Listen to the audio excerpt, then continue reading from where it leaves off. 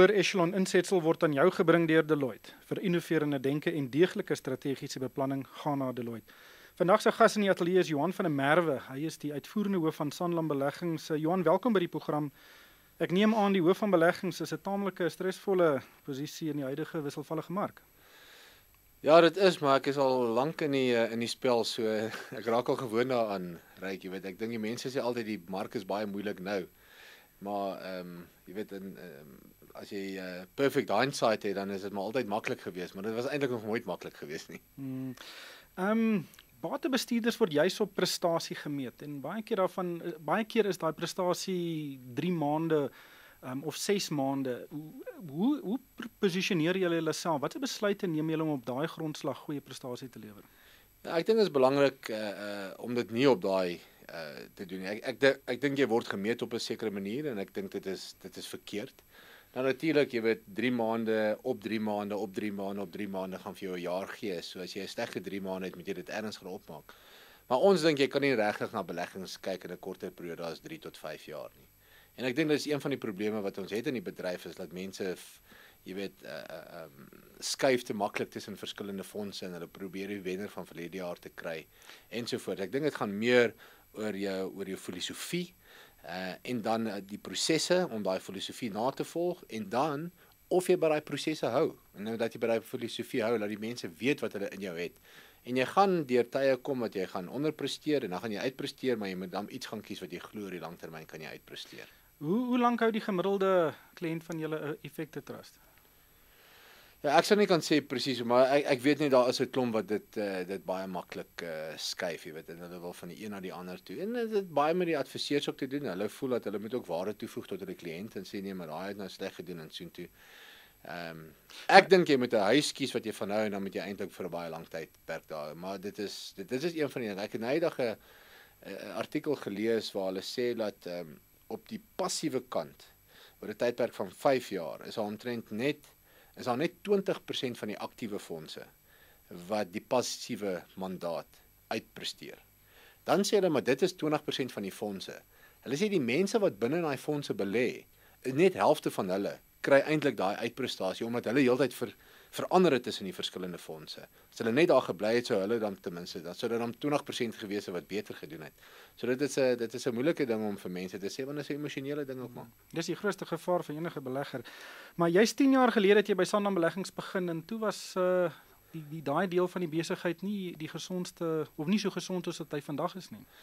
Ja nee, dit was 'n uh, dit was 'n besigheid wat bietjie vuisfoos was. Jy weet ek onthou toe ek uh, gegaan het vir my onderhoude het ek nogal gevra hoe ernstig is Sanlam om hierdie besigheid te behou want ek wou ook nie net daar begin het en dan maak hulle hom toe nie en ek het dis onomwonde aan my gestel dat daar's geen rede hoekom Sanlam nie een van die beste en nie die beste batebestuurder daar buite kan wees nie en dit is wat ek toe toe aangevat het op daai stadium.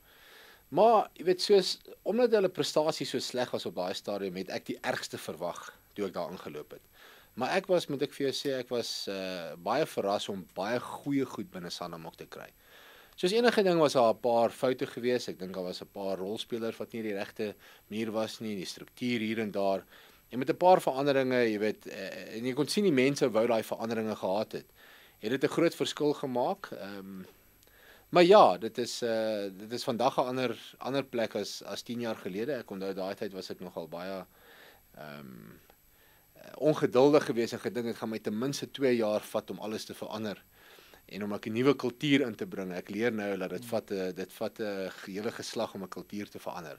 Maar dit beteken nie jy kan nie in die regte rigting beweeg ten minste nie. Maar, maar jy het ook geweldig nuwe tegnologiestelsels en en en inligtingstegnologie um, in die besigheid uh, gebring hoe dit hoe die hele batebestuur bedryf die afgelope dekade verander of die afgelope 10 jaar verander? Ja, ek dink ek het daai tyd besluit dat dat kennis is mag en laat jy met jouself ten minste die beste waarskynlikheid gee om te kan uitpresteer. Kyk, daar's geen waarborg op die einde van die dag nie. Maar jy weet jy moet die beste stelsels hê, jy moet die beste mense hê, jy moet die beste inligtingstrome inkry om vir jouself daai daai posisie te gee. En ek dink wat gebeur in die wêreld is dat dat data is net meer vrylik beskikbaar en en en en dit is met die klap van 'n vinger is dit beskikbaar. Jy hoef nie eens te wag daarvoor nie. So dit is nogal 'n groot en dan om uit te presteer raak nog moeiliker want almal het dieselfde inligting op dieselfde tyd En en en dan moet jy natuurlik jou filosofie en jou prosesse toepas soos wat jy glo. Hoe, Johan van Sail word baie kry baie keer die krediet dat hy Sanlam omgedraai het. Hoe werk jy saam met hom en het hy enige direkte impak op op Sanlam beleggings? Wel ek het uh, ek het ontsettende groot respek vir Johan van Sail. Hy het uh, hy is hy is 'n ware leier. Hy loop voor. Uh ek dink hy uh, is 'n ongelooflike strateeg. Hy vat ook sy mense saam met hom. Johan meng glad nie in in ons besigheid nie. Maar kan jou sê as ek op sy knoppie druk en sê Johan, maar ons het jou hulp hier nodig, sal hy enigiets doen as hy kan om ons te help. En dit is dit is dit is wat iemand wil hê wat vir iemand anders se werk is dat jy daai tipe van verhouding met hom het en uh, ek dink deur die bank is hy is is hy iemand wat wat werklik respek afdwing en wat uh ehm um, wat vir Sanlam ongelooflike waarde toegevoeg het. Ja, hy het reg die maatskappy weet in 'n nuwe rigting gestuur en daai gedesentraliseerde benadering dit lyk toe regtig of dit werk. Ja, dit werk. Jy weet ek ek dink hierdie goeders gaan ons gewoonlik deur hulle siklusse en so aan, jy weet, uh, dan desentraliseer, dan sentraliseer jy, maar jy weet ek dink hy kyk heeltyd na die goeders en dit is ongelooflik. Jy weet Johan het 'n uh, het 'n sekere beginsel in Sanlam ingebring wat regtig as die ouens is besigheid 101 is. En dit is opbrengs op kapitaal. Nou dit klink daar so 'n ongelooflike uh, eenvoudige konsep en dit is, maar om dit te gaan toepas en die dissipline waarmee hy waarmee hy dit toepas en en en waar hy die hele maatskappy kry om so na dinge te kyk. Jy weet dit is dit is waar Sanlam se ehm um, ek dink se uitprestasie gekom het. Jy weet ek dink toe ons Johan van Sail gekom het was hy aandeleprys R6, Old Mutual was R12, hulle is nou 24 en Sanlam is 38. Ja. Jy weet Sanlam moes iets reg gedoen het oor die, oor hierdie tyd en en ek dink met sy leierskap ehm um, natuurlik is daar baie goeie mense in Sanlam ook, maar hy het regtig die leierskap gegee daarvoor. Kom ons gaan 'n bietjie terug. Jy kom van die Vrystaat af. Jy het in Pretoria gestudeer en is 'n geoktroeëerde rekenmeester uh, is jy gekwalifiseer en toe jy Cambridge toe, weet hierdie Vrystaat Cambridge uh ja. skuif hoe dit hoe dit ja. gebeur? Ja nee ek ek ek kom nie van die Vrystaat nie, ek kom van Nelspruit af. So dis okay, maar dit is dis so erg soos die Vrystaat of so goed soos die Vrystaat dat ek eerder dit so stel. Ja, ek het nog altyd, jy weet, ek wou ehm um, ek wou nog altyd oor see gaan studeer. Dit was een van die dinge wat ek vir myself daar gesit het en en en toe ek besig was met my klerkskap het ek begin rondkyk waar om dit te doen. Jy weet as 'n klerk kry jy mos verskriklik min geld ook. En ek het uh, gedink maar as jy nou en as jy jou klerkskap klaar maak dan ewe skielik sou ons 'n 100 000 rand 'n jaar verdien het. En ek gedink, jy weet, ek wil ek wil oor see gaan swat. Ek het gedink aan 'n MBA, maar dis 2 jaar en dis te lank, jy weet, my vriende gaan almal nou 100 000 rand 'n jaar verdien en hier gaan ek studeer en dit kos my geld. En toe het ek op 'n ding afgekom by Cambridge wat hulle noem the Masters in the Philosophy of Finance en ek het dit gaan doen vir 'n jaar en en regtig, reg, dit was een van die beste jare in my lewe. Ja, ek moet neem aan in die vroeë 90's was dit 'n uh ek weet baie min Suid-Afrikaners sou dit gestudeer het. Ja, ek dink daar was min Suid-Afrikaners wat gegaan het. Jy weet daar was die die die, die sogenaamde Rhodes scholarships en 'n paar scholarships gewees waar ouens uh, Oxford toe en in 'n paar plekke toe gegaan het, maar daar was baie min Suid-Afrikaners daar gewees. Maar daar was tog 'n paar gewees. En dit was lekker om natuurlik om saam met hulle daar te kuier, maar dit was 'n ongelooflike ervaring en en en en net die mense wat saam met jou daar is en die vriende wat jy gemaak het en en ek dink dit is daai daai blootstelling wat jy kry aan iets wat bietjie anders is. Jy weet hierdie Afrikaanse ou, nou moet ek ewe skielik alles in Engels doen en Engels skryf en so aan. In die begin voel jy so bietjie uit, maar as jy jy so rukkie aan die gang is, dan kom jy agter luister maar ek is net so slim en of of nog beter as die ouens daar. So jy weet dis nie eh, dis nie te moeilik gewees nie. Jy het toe in die vroeë 90's teruggekom en by Gencor aangesluit. Eh, het jy toe 'n loopbaan in die weet in die mynbedryf uh weet voorsien? Ja, ek het basies 'n uh, die Gencor voorsittersbeurs gekry van Brian Gilbertson en en dis hoekom ek teruggekom het na hulle toe. Ehm um, ek het toe in in koöperatiewe finansies daar gaan werk en dit alhoewel dit in 'n mynmaatskappy was, was dit in die finansiële kant daar gewees.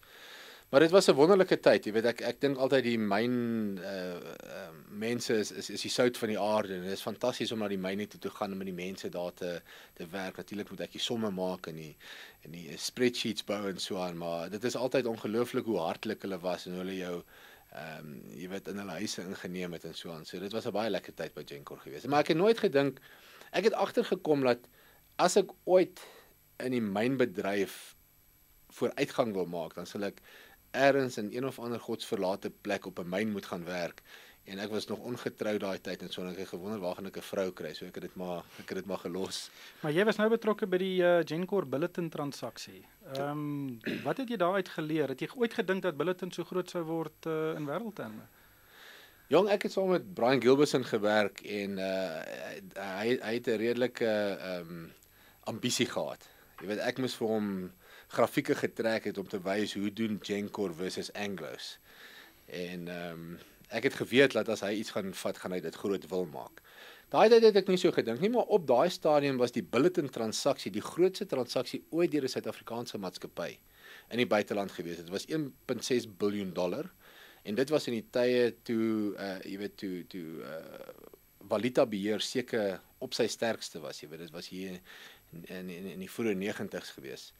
Ehm um, so dit was nie 'n maklike transaksie om te finansier nie ensovoorts, maar dit was uh dit was ook weer ongelooflike blootstelling want dit was in uh, dit was die hele Suid-Amerika gewees, jy weet ek het ek het daarna toe gereis, uh, Kanada, al die mynplekke, Australië, Indonesië, Japan waar hulle ehm uh, um, die marketing en training gedoen was ensovoorts. So dit was lekker blootstelling in in in al hierdie plekke en ek was ongetroud daai tyd so dit was lekker om te reis. Hmm. Is dit daar waar jy vir Flip Rademeier ontmoet het? Was daar enige verband tussen weet toe hy nog by Gencor was en later by Sanlam? Ja, daar was. Dit is 'n is 'n baie goeie vraag. Toe ek ehm um, toe ek besluit het ek wil op Cambridge gaan swat het, toe ek toe ek nie geld gehad het, toe bel ek vir Gencor. Toe sê ek ek wil met die met die finansiële direkteur praat. Sê hulle nee, maar ek kan nie sommer net met hom praat nie. Ehm um, En toe op 'n manier kom ek by sy sekretaresse uit. Snaaks genoeg ek het haar vanoggend weer gesien uh, want sy werk nog by uh, by Sanlam Kapitaalmarkte nou wat die ou Gensec is. En ehm um, ek kry toe vir Flip op die foon en hy sê vir my vertel van my storie. Ek het nog my my klerkskap gedoen by Deloitte daai stadium. En hy sê vir my, "Wel, wees môreoggend 7:00 in my kantoor." Een ding het op die ander ding gevolg en ek het toe die Gencor voorsittersbeurs gekry want hy het my aan, aan Brian gaan voorstel en so aan.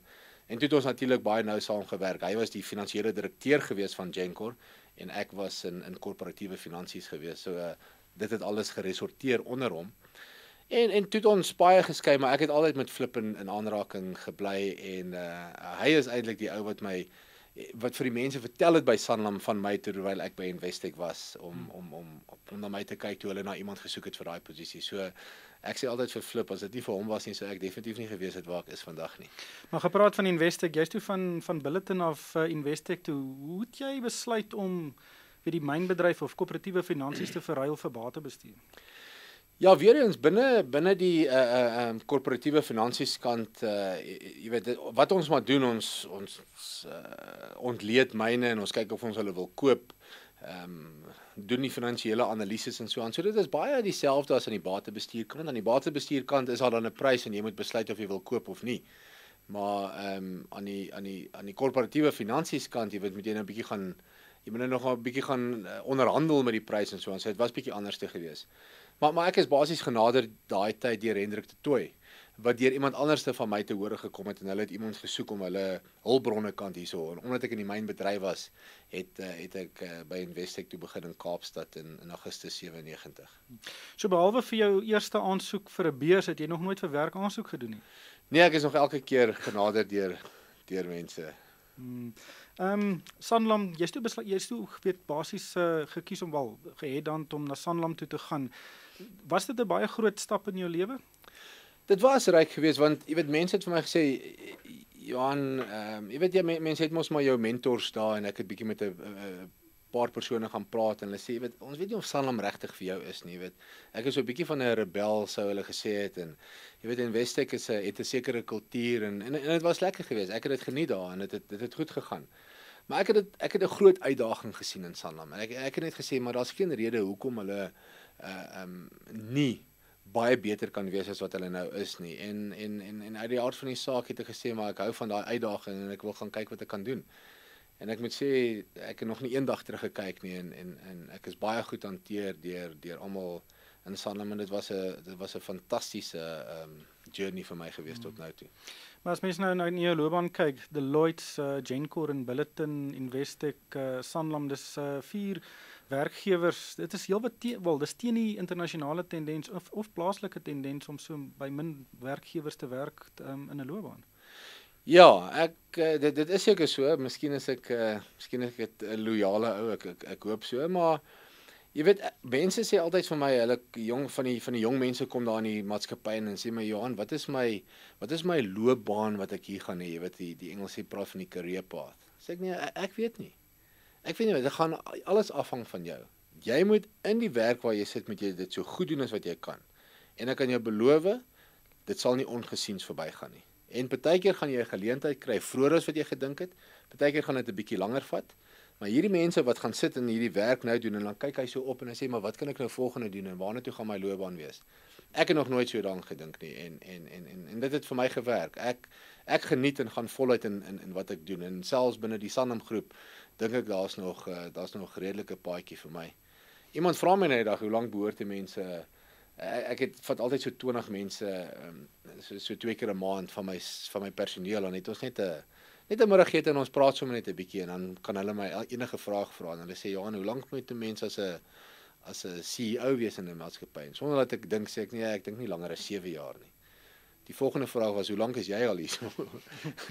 so ek weet nie of dit 'n loaded question was nie, maar ek eh, ek geniet dit nog daar. Ek dink die die die werk het so baie verander dat dit voel vir my na 'n nuwe na 'n nuwe uitdaging elke keer. Dankie Johan, dit was Johan van der Merwe, hy is die uitvoerende hoof van Sanlam Beleggings. Hierdie hoër echelon insetsel is aan jou gebring deur Deloitte vir innoverende denke en deeglike strategiese beplanning gaan na Deloitte.